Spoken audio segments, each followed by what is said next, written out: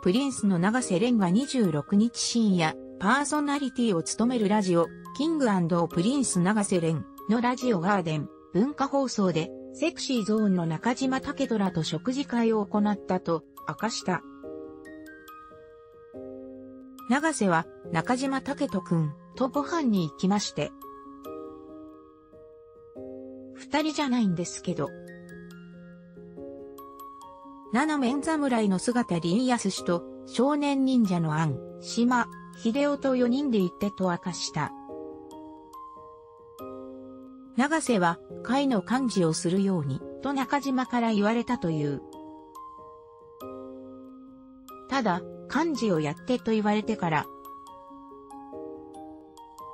開催するまで500日もかかったという。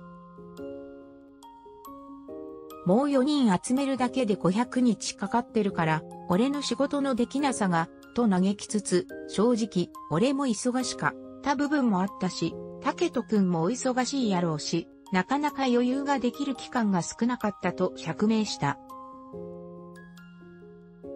ちなみに食事会はし、やぶしゃぶだった。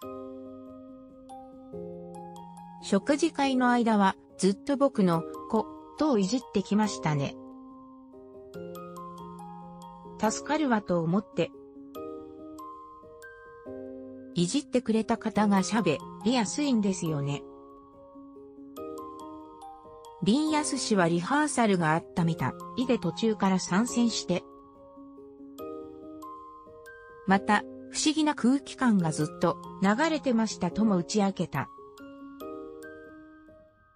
いろいろ気遣って飲み物なくなったな。と思ったら何飲みます？みたいな。俺と安島でそういう役回りをさせてもらったと振り返った。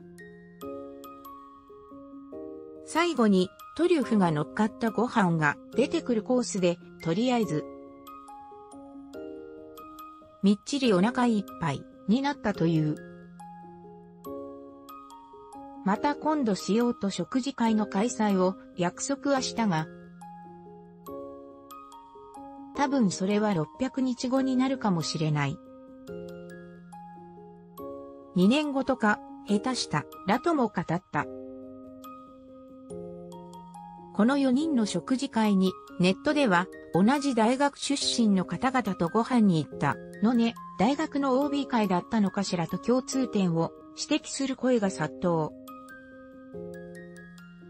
芸能関係者は、4人は明治学院大学の出身で、長瀬は中島武人から勧められて入学を決めたと言われていますと語った。